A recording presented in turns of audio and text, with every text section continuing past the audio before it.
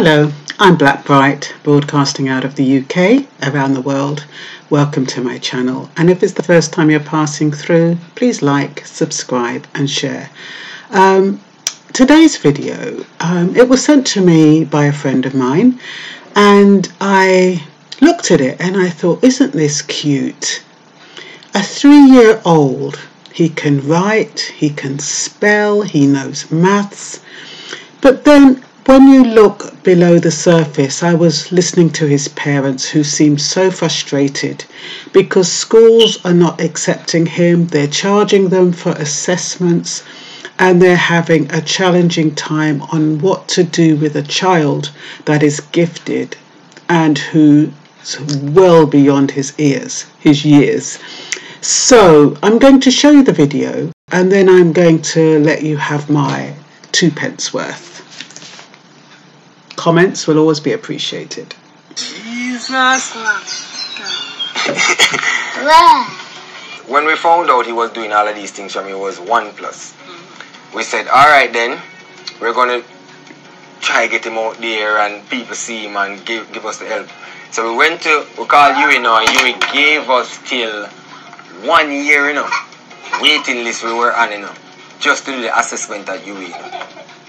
And when we go there now, after the one year now, after I reach two now, they're saying that they have us in our room asking us questions about him. We're giving our answer. Then they're saying that okay, he's high function autistic. They learn like they don't learn like average kids. Their brain moving so fast, that's why they, they're slow on my in speech and everything. And they don't really interact as much and all of these things. So that's what they're saying. Then now they're saying that all right, then we're not. You're supposed to do two more tests, but you have to go back on a waiting list again for maybe next year again to do that. Or you can pay X amount of money to speed up the process at somewhere else and thing. When we contact the place that they told us about, to say, all right, then they say fifteen thousand to do the first one, then thirty thousand for the next one, then twelve thousand for the other one, and they say the first one over fifteen thousand is a verbal thing like what we did at UWI already. So I said, why don't you use the the same um, assessment that you did before? So we can just go in and just pay the thirty thousand to do that assessment that is is needed for him. Then we go there and ask a question about the same things again. So to me, it's it's it's rubbish because we don't have it like that to constantly have pay, pay, pay, pay, pay, pay all over the place, and he's not getting the assistance that that, um, that he needs. But this 10 times 8. Good boy. Or this 10 times 9. Good boy. Before he born, I, I download 2 to 10 times for him. Before he was born. Yeah, and I said, alright then. So you were pleased that while you while she was born. Yeah, and like putting him to bed and everything. So, um, after one plus, we find out, found out that he knew from 2 to 10 times. Like he literally can write it and then afterwards, no what? But weren't you fascinated when you saw him writing? I mean, he's a one Yeah, but you see, because we we saw his growth, mm-hmm. it wasn't that wow to us like everybody else. Because mm-hmm. even now, when you see him doing all this, you're like, okay. Because yeah. we, we, saw the, the transition to know. But um, it's still amazing based on a lot of things like Spanish that he know that we never taught him. And like opposites of words. YouTube, you know, to use the computer. He teach me some stuff on the computer that I didn't that even that even know. no, I think called uh, Maths Antics. Maths Antics. Yeah, he teaches CXC maths. Yeah, so that's where he got um to know about the the, the fractions because he can do fractions and you know um square square root. And you know like pentagon, octagon, all those. Yeah. Yeah, you know all those shapes. You know every color stuff like that. Comb. Good yeah. boy. How many with. Tried to get ah, I've tried a lot, but um, most of them just tell you straight up they cannot teach it. Yeah, but others, others say yes they can, and when you take him there, it's like you have to come back for him again. We have to be up late at night doing research on what to teach him and how to teach him because. How can you because how much can But Have the, you contacted Ministry of Education? we contacted everybody. is Ministry of Education? It's like you, you, you talk to persons and they say they're gonna get back to you. But remember, you know, he's getting older. So You can't stay home for forever. So it's like when when it, you, you contact them more than once, and it's like, yes, remember, we're gonna get back to you, we're gonna get back to you. Even a simple interview on the TV with him, and none of that. I've been contacting person, say they're gonna get back to me, and I know. So I'm saying, why is it he's blessed with this gift, and they're not trying to to like foster that for I don't know. But kids are like yourself. Because you must have other kids out there like that. and that is and that is the challenge because even if we had even if we heard of schools that maybe he able to teach him they're telling us like all hundred and thousand every three months and all these Must things know. Yeah, 100,000 a month. some is three months Yeah. like in kingston and we live in spanish town so and we don't have it like that because even if you're in a good job you still cannot pay for the school 100,000 a month. so what is going to happen to him he's a square of 16 square root of 16 four good boy But what is two square Good boy. I want him to get the right education, like, because we cannot teach him more than what we can teach him. Or maybe there's a lot of kids out there like him that no one know, knows about. And those kids are um, from poor families that cannot afford to send their kids to these private schools. So they end up sending the child to a regular school whereby teachers are going to say that this child is misbehaving and parents do not teach the child good and stuff because they're not challenging the kids.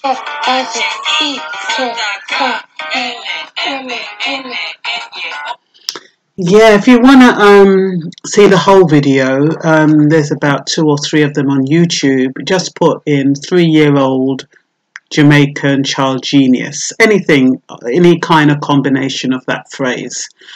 Um, like I said, it on the on the one side, it looks fantastic. You know, you have people looking at the child and saying, "Oh, he's brilliant.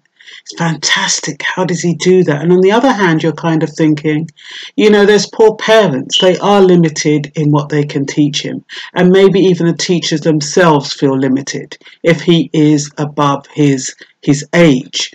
So um, I did write down a few notes as I usually do. Um, what is gifted? Some of the traits of being gifted, like that child is, they have a wide vocabulary, um, retentive photographic memory, extremely curious, and a vivid imagination. Now, I don't know if by um, teaching children through phones and electronic devices actually accelerates their knowledge and as opposed to how we were taught, you go into the classroom and you look at the board, and it's done at a very slow pace. So I'm not quite sure because um, the father was saying that he downloaded this um, mathematic antics or something um, from the child was born. So he could have actually programmed the child to accelerate, actually inadvertently. Um, but I don't know. I don't know whether the child is naturally gifted or whether it has been accelerated through technology. Um, but if that was the case, there'd be so many. But mind you, a lot of the children today, they do seem to be way above their years, especially when they're literate with um, technology. Um, the parents are obviously confused and frustrated, and when they're trying to help, um, it's costing them left, right, and centre. I don't see why it should. They should have gifted and talented coordinators in schools. They should have dedicated teachers to deal with children who are above the norm or who are considered above the norm, who are exceptionally bright. Um, it's easy to compare um, children like that with others, and so it's hard to kind of curtail. And by curtailing um, their abilities, you have you run the risk of demotivating them, letting them lose their self confidence, and things like that. I mean, children like that, they need. There's always something to learn. You know, I think the parents are focusing on the intellectual, but you know, there are will be other things outside the academic and intellectual that he's not good at. The child cannot be good at everything. So he's only three. Where his where is his childhood? Where is his, you know, playing games, playing football, um, you know, that kind of stuff. While education is good, it really is sometimes more important to teach the child to be a child and let the child have a childhood. He can build stuff in the back garden, he can make holes and, you know, I don't know what he can do, but he can be creative in the backyard. You know, you can teach your child that, you know, the things where they're not good at, you can challenge them in that area, and that will keep them stimulated. Um, I think if you focus on what they are good at and you get frustrated because they're getting better and better what they're already good at, you can kind of think, okay, you know, what else can I teach him? But they can actually teach him, um, hone in on skills. You know, I don't know about social skills. I was even thinking that he could be a YouTuber. You know, go on YouTube and teach other three year olds about maths and stuff that would be quite good and the money he makes from that i'm sure it'd be successful. The money he makes from that could go into a trust fund for his education as he grows older. I mean there are um, there are resolutions but it's whether or not people think outside the box or not. I think at the moment the parents are focusing totally on his intellect and his academic. And it must be frustration because like he said you know, if you put a child in school that is gifted and over and above the other children, you know, it means that he could get bullied, it means that he could get bored, he could um, become frustrated, um, he could be, his behavior could be disruptive or perceived as disruptive because they're not challenging him enough. So I can understand the parents' concern. Um, one another thing is that you know you can't always assume that the child is always going to be gifted. You know it might be that that that um, where he is now might um, not excel. It may remain the same or it might even dip. So you have to make the most of who he is now and see what you can do with what he is now. Like i said i think um, having him as a youtuber would be a brilliant idea. I don't know if they have age limitations um, I, I know we have young children on YouTube, um, but I don't know what the criteria is. But maybe that is a way that he could be teaching other children. That would be stimulating, and he could do that outside school. Mainstream schools would have to be able to accommodate him, understanding that he is gifted and above average, and make allowances for that. And, you know, see what they can do about it. I mean, you know, if the par- the funny thing is, if the parents that they seem very intelligent, if they don't feel qualified, or they actually are intimidated by his intelligence, a lot of teachers could be intimidated by his intelligence also. So maybe that's why some of the teachers may not even want to take him on. We don't know what the circumstances are. We do not know why these things happen. Um, yeah, um, I also think it's important to praise him. I mean, he obviously the parents are really, really good. That father, you know, he seems exceptionally um, good. So he does praise him, which is important. It's important to encourage him. I mean, to be honest, in teaching the child, the, the parents are actually learning themselves. In challenging the child, they are actually challenging themselves. I don't think they quite realize that they're actually benefiting from teaching the child because their knowledge is increasing, which is fantastic. Um, what else? Um, yeah, institutions will tend to want to exploit gifted children. Um, I don't know why that is. I mean, talking about private schools and all these schools that are, I don't know how much you said um, they cost. I've forgotten what he said, but you know everything so seems so expensive. And like he said, what happens to other um, families who have talented or gifted children who can't afford the fees? Those children get dumbed down, and they're the ones who could be seen as disruptive and could even turn out to be frustrated, angry, and could even turn out to be a criminal just because people haven't recognized and nurtured their abilities. It's really a difficult situation to be in. But, you know, they could the, the parents could set up some kind of school. They could actually set up a school themselves or set up a competition, find other like minded children, bring other children, you know, put an advert out. Is your child a gifted or talented child? Put them all together. You know, like they have those competitions in the UK. Um, I forget what they call them. They call them, they're not super intelligent children, but you get these kids. And honestly, they do things like university challenge and stuff, and they compete against each other. So maybe they could set up something like that. Um, solicit other children who are like minded and who are just as intelligent and have like competitions so they can challenge against each other. That would be stimulating. I'm not quite sure about the regulations behind that, and because of the age, he's so young, he's only three.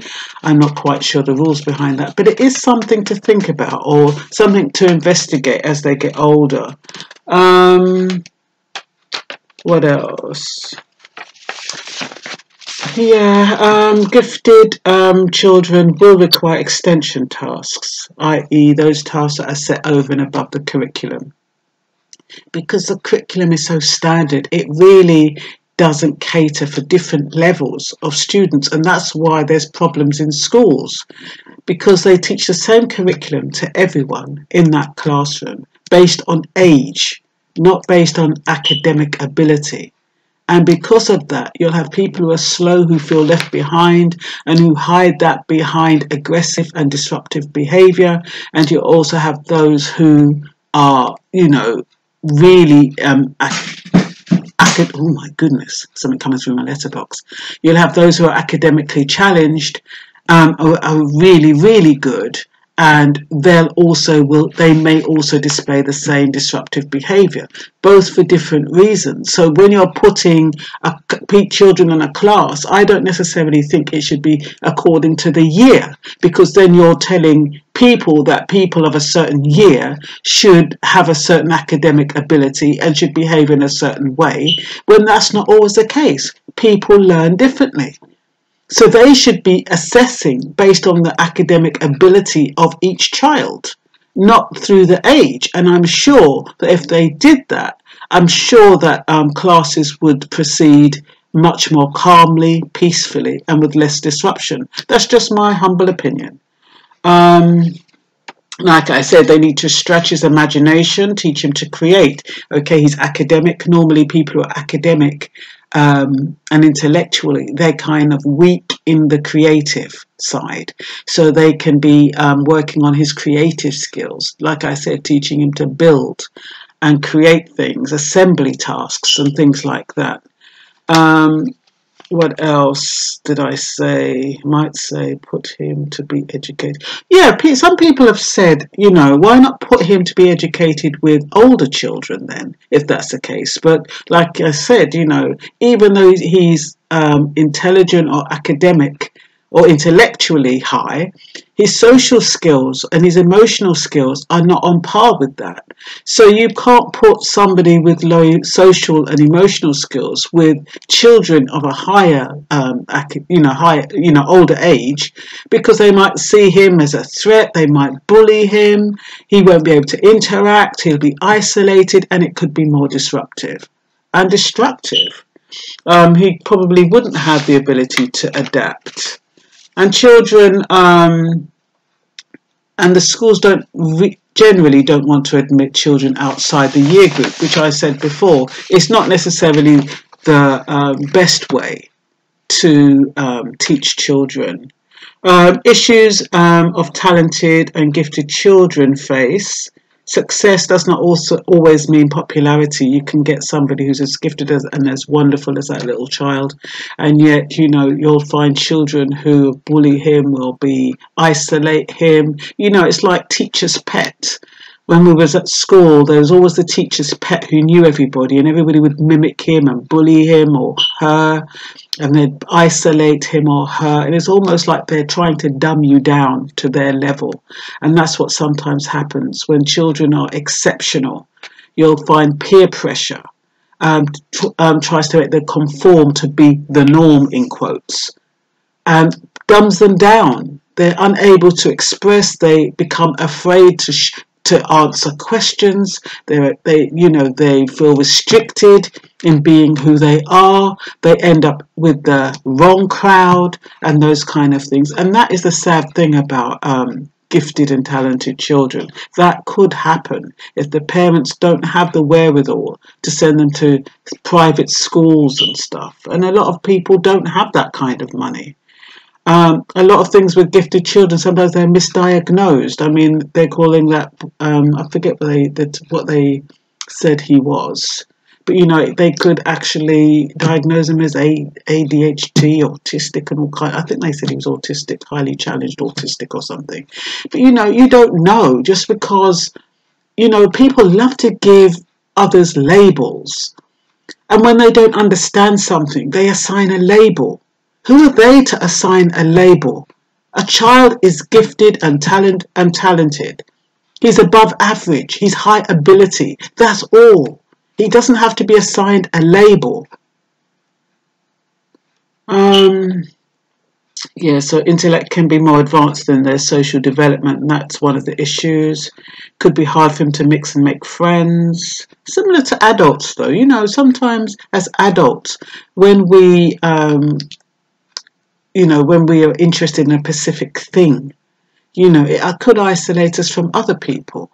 You know, you get people who um, believe in Buddha or they go into meditation, and that would isolate those who are overactively minded. They probably think they're a bit loopy. So, you know, when people are different, they tend to isolate instead of, and you know, instead of being inclusive and learning from each other, they tend to think, oh, that person's a bit, you know, they're not normal, or, you know, once again, giving labels, judging.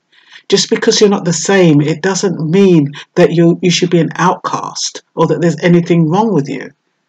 And that's what we have a problem with generally when people don't understand people of colour, of race, of ethnicity. It's the same kind of thing. They're considered outcasts because people don't get to know them. It's all a part of the same thing. People who are different are, are seen as outcasts.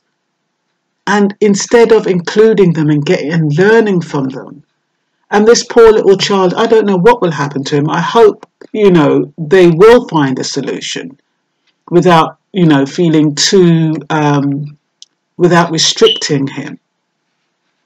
Um, working class may not be challenging enough for talented and gifted children. They become bored, they daydream, sometimes they want to avoid school, um, they can develop disruptive behavior, they can become confused, stifled, suppressed, and all things like that. Um, gifted children um, do not usually fit into the special educational needs category because the special educational needs category is normally on the other end of the spectrum where um, they're challenged and they're unable to learn. They don't have the same level of literacy, but they don't have um, something for those who are above normal.